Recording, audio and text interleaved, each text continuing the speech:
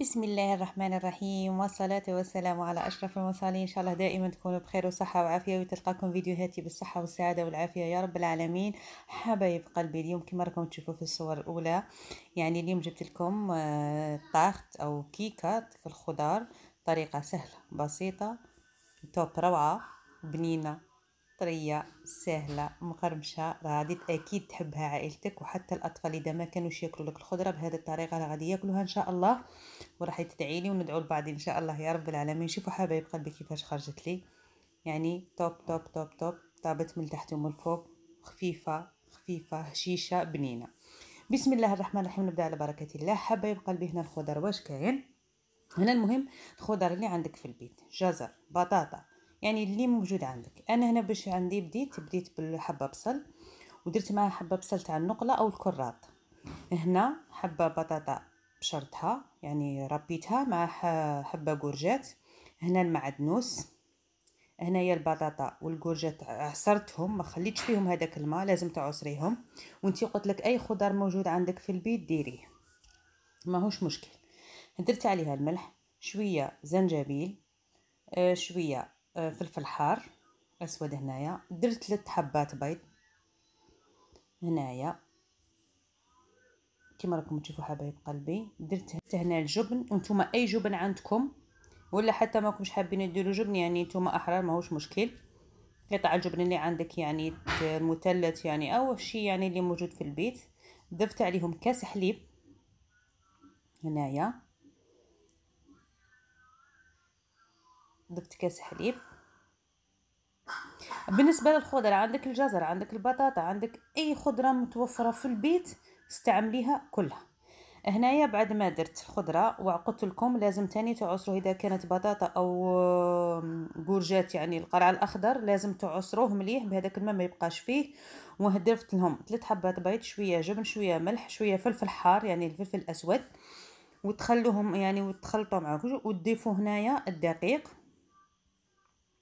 وتبدو تخلطوا ودرت لها مغرف كبيرة تاع baking powder يعني خميره الخبز. آه عفوا خميرة الحلويات.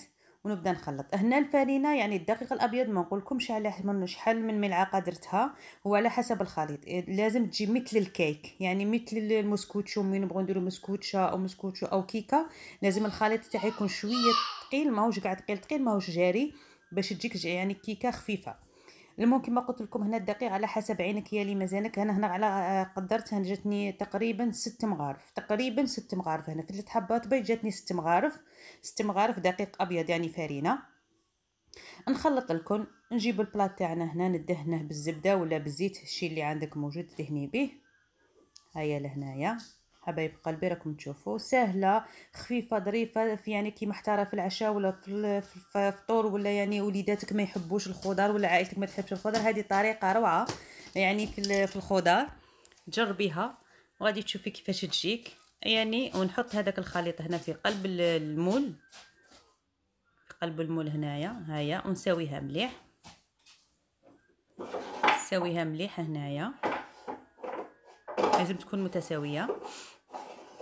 بعد الكينا غادي نجيب حبايبي هنايا. التزيين يعود لكم. أنا التزيين واش درت هنايا؟ آه درت آه جبت طماطم قطعتها شرائح رقيقة. وهاني نضيفها لهنايا. نضيفها هنايا. هنايا.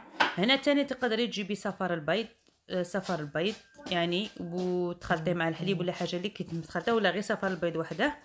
وت... وتدهني بها هذا الطبقة الفوق وديري الزنجبيل عفوا ديري حبه البركة أو ديري السمسم أو يعني أنت اختاري يعني الجبن ماهوش اختياري يعني ماهوش مفروض يعني اختياري.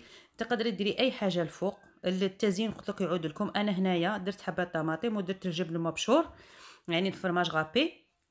وهذا مكان. سهلة قلت لكم سهلة كي في قمة الروعة يعني وشفتوا بعين كيف جاتني. هنايا ضفت لها فوق هذا الحبوب الشيه هنايا. فوقهم.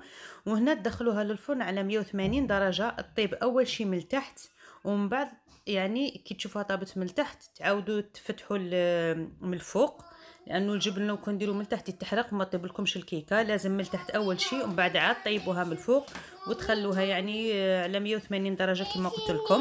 من التحت ومن بعد عاد من الفوق. يعني سهلة. أتمنى إن شاء الله تجربوها وما تنسونيش اشتراك وتفعيل تفعيل الجرس حبايب قلبي ليوصلكم أي جديد إن شاء الله ودائما نعود لكم ونكرر لكم سامحونا على التكرار معليش أنتم إخوتي واخوتي في الله وحبايب قلبي. يعني اللي ما توصل إشعاراتي يديزابوني ويعاود ابوني من جديد ويعاود يفعل الجرس باش يوصله كل جديد إن شاء الله. والاشتراك في القناة وتفعيل الجرس باش يوصلكم أي جديد. إن شاء الله يا ربي وتعجبكم وصفاتي ويلقاكم هذا الفيديو بالصحة والعافية والسعادة والسلامة يا رب العالمين للجميع. آه شوفوا كيفاش خرجت لهنا شوفوا بعد ما طابت ونوصيكم. قلت لكم دائما طيبوها على 180 درجة من التحت ديروها في الوسط وطيبوها من التحت آه طيبوها من التحت ومن بعد كي تشوفوها شوية طابت من التحت تشعلوا من الفوق وتحمروها لأنه الجبن أو أي شيء ديروه من الفوق في الساعة تحمر باش ما تتحرق لكمش هيا قلت لكم صدقوني آه، أي خضار عندكم موجود في البيت ولا عائلتك ولا الأطفال يشتوا أحيانا ما يحبوش يأكلوا الخضار هذه طريقة سهلة يعني تعجبهم إن شاء الله ويأكلوها وجربوها وإذا عجبتكم أي وصفات أو أي شيء يعني شيء قولوا لي نحضرها معكم نحضروه وفي الإعادة إفادة إن شاء الله واللي عندهاش أي وصفة وحابة يعني نديرها لها معليش تكتب لي ونديرها لها إن شاء الله وإلى اللقاء في فيديو إن شاء الله مع ألف ألف سلامة حبايب قلبي ومشاهدي الكرام.